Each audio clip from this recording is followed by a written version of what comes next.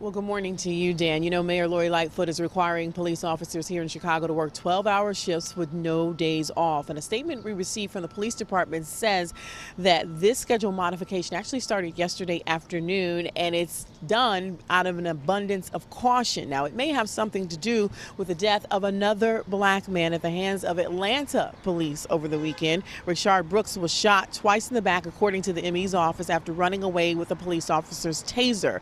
Protests in Atlanta and elsewhere are calling for those officers to be charged.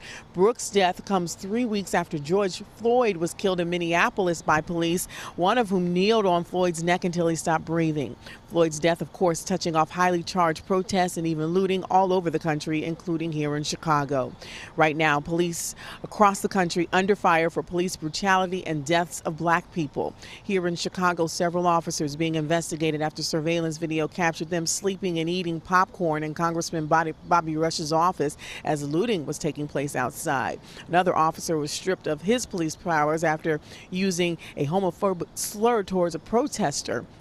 Even police board president Ghian Foreman filed a complaint against officers after he says he was beaten with a police baton as he watched a protest and rally in Hyde Park. Now, Mayor Lightfoot has put together a working group filled with community leaders who will be examining CPD's use of force.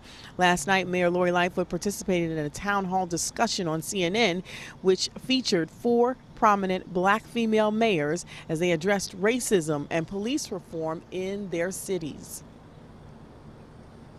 The status quo is clearly failing, even in cities like Chicago and others across the country where we've been working on reform issues for a number of years now. We have to accelerate the pace of that and really give voice to the pain and the anguish that we're seeing out on the streets every single day.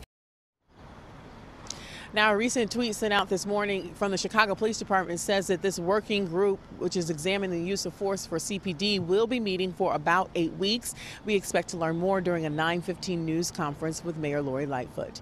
Reporting live from City Hall, Courtney Gousman, WGN News.